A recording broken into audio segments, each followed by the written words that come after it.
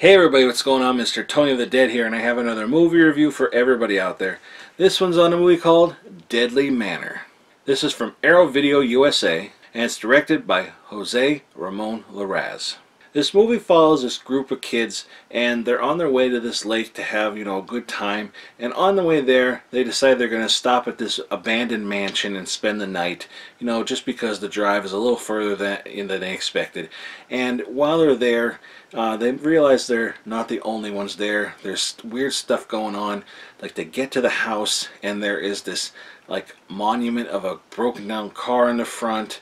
There's coffins in the basement and they find scalps inside of a closet. So something weird's going on and they don't know what it is.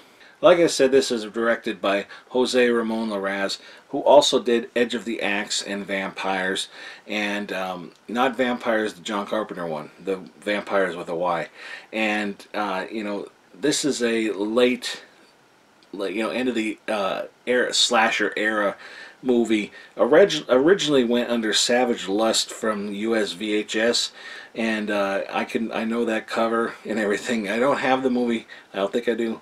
I'm pretty sure I don't but uh, it, it yeah, went under Savage Lust. And um, the movie is like it's it's pretty neat. Like I, I I didn't hate the movie but there were some things I didn't really um, like about it. Like I, I thought the kills were too quick and pretty similar. A lot of them were pretty much the same as the other one. Um, you can see like the knife bend a few times because they like slow motioned it. Um, some of the scenes were fine. There were a lot of um, off off scene um, kills off screen kills and uh, like somebody would get their throat slashed and they would start just they're walking down the stairs and they fall over. It's like you don't see them get killed or anything. Uh, that's another thing. There's a lot of throat slash in this, which is fine, but like it's all kind of the same. And they don't know the killer's behind them. They turn around and they're dead.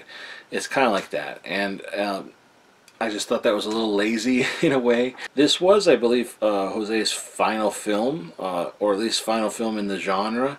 But um, you know, I thought the setting was cool. They it's like a lot of the stuff in the house, the the, the furniture, like that was already all there.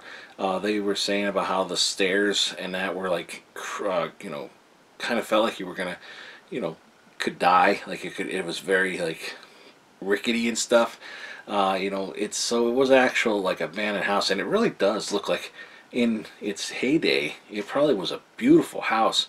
It's a big huge house and there's like you know these bushes in the front and there's like the woods around it. Like there's a big open front yard and everything but it looked beautiful. If that was like uh, like fixed up or or anything it would it would be a great great house. But um, it was just you know the setting like I said was cool and the whole reasoning behind what is going on is you know is okay. But like I said the kills were just kind of eh. and then there was like this other story, they, they picked up this hitchhiker guy who um, is kind of mysterious, and here he's actually like running from the law, and you don't find out more, that much more about him. You don't find out why he's running from the law. Uh, he's, like I said, he's very mysterious. There's kind of like this love interest between him and this other guy, uh, his girlfriend. So, like, but they don't really go any further with that. It kind of gets cut short. Uh, it's there's just some things that I think were cut too early in that that I, I th think they could have kept going on with, or like because I wanted to know more about this hitchhiker, and and it just seemed like the whole time he had this connection with the house. Like like some reason I was thinking to myself, he's probably a ghost or or somebody that got killed around there, and now he hitchhikes you know, and now he gets them to go to this house. I don't know. I thought that would that would be something, but it's not. And uh, you know, there's there's a it's a a fun group of kids. You know, I say kids, but they're you know old enough to drink, but I, like they're teenagers or whatever. But uh, there's a lot of lame, and I say lame in a in a good way because it's funny. Um, like a lot of like little one-liners at each other that they bust each other's balls a lot and and uh, it, it made me laugh you know pretty pretty funny and uh, I don't know. It just it's just something was missing with it, I guess. And the way this ends, um, they wanted to have a sequel to it, but uh, I guess Jose went back to Spain, and they he never talked to so and so again, and it never got made. So a, a, sequel would have been cool to see for this too. You know, um, again, I'm not gonna say how it ends exactly or anything, but you know, I haven't seen this before. I have seen. I don't think I own Savage Lust. I've seen the cover, and I never watched a trailer before. By the way, if you watch the trailer, there's a, a trailer on here, the original Savage Lust VHS trailer, but it's cleaned up. Um, it is spoil heavy. Like the very first thing you see is like the ending of the movie. So I'm just warning you, if you do watch the trailer, if you want to go ahead and watch it, it you're gonna it's it's spoiler heavy. So just don't watch it. I would say wait and see the movie first and then watch it. But uh, I will say this: the movie looked fantastic. Like Edge of the Axe, it looked really good. And I'm saying I'm comparing it to that because it's his movie as well. But it looks fantastic this movie. It sounded good captions were all good for me. And I always had captions on. Everything was was you know great. But this thing this was cleaned up so nice. And it says it came out in 89 um, but I believe he says something about like about 90s kids. So I think it's supposed to have come out in 1990 I think it was filmed in 89 came out in 90 but I believe IMDb says in 1989 so I don't know but on here it says 19 it says 1989 so I don't know why they say 90s kids. So I don't know but I thought that was kind of strange.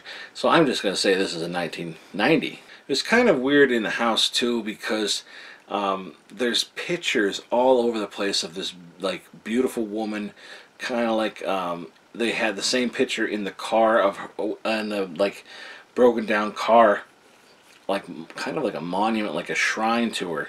And the, her pictures were all over the house, naked and stuff, uh, in a tasteful way, not like a pornographic way, but like a, a posing, you know, modeling kind of way. And uh, a very beautiful woman, and you know, it was it was just a strange setting, and one girl in the beginning got this bad vibe from the place, and she didn't want to go there, so she like kind of left. But that's another thing too. There was people that I would have liked to like seen more or had a bigger role, and especially like her. And she just like goes off and whatever happens to her. But like they don't. It's like very early on. And it's, it, I don't know. I don't know what the purpose of her was. You know, in the movie. Like I think she, they could have done more with her. Keep her with a group of kids. You know, it's always fun to see a group of teenagers and then like them get killed. This sounds horrible, but get killed one by one uh, in horrific ways, and then who is going to be the survivor to stop it all, or whatever, you know, uh, or survivors. It's it's it is what it is. It's it's a slasher kind of genre thing, you know. It's and unfortunately this was late in the in the uh, era, so I don't think this got a lot of love you know, as much love as, as, it, as it deserves. Because I do like the movie. I did like it. But I just think the, the whole very, like the ending was a little, a little strange. A lot of, too much talking.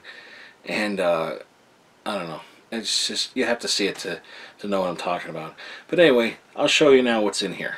And here you have the cover. This is newly commissioned artwork by Adam Rabalais. I don't know how you say it. But uh, that's uh, his artwork there and then you turn it around you got this other artwork which is cool. It's almost like the other one but you know this is a real photograph while the other one's you know art.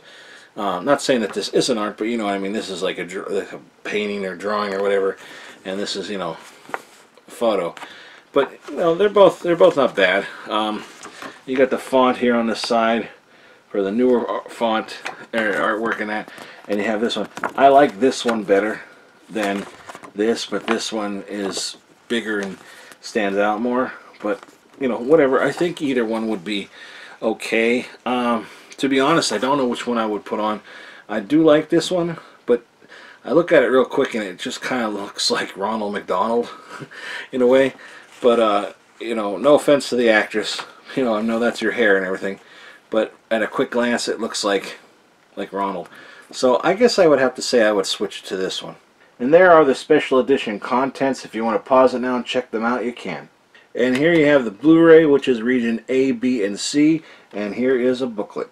And like I said, here you have a booklet, and it got this cool little mask here that the uh, person wears.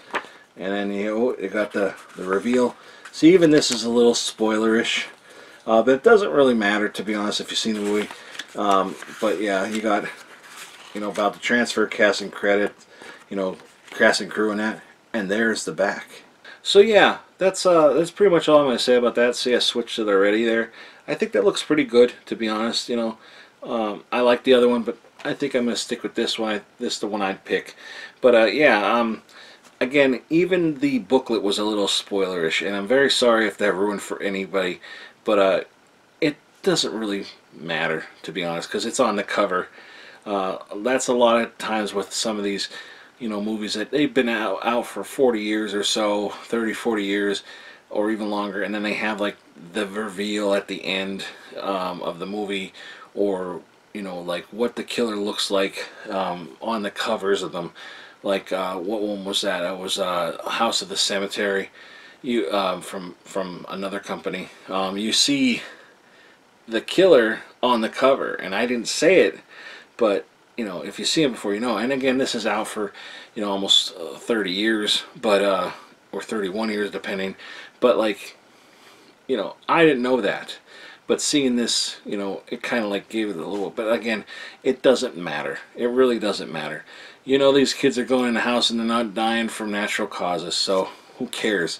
But anyway, yeah, Deadly Manor I'd say check it out. Uh, honestly, I don't know how much I'd watch this. How much I, would probably watch it again down the line, but if I wanted to put it in right away, nah, I probably wouldn't. You know, but uh, yeah, I thought it was okay. I thought it was an okay movie, and uh, who knows? Maybe if I watch it again sometime, I'll like it. Even, I'll like it more.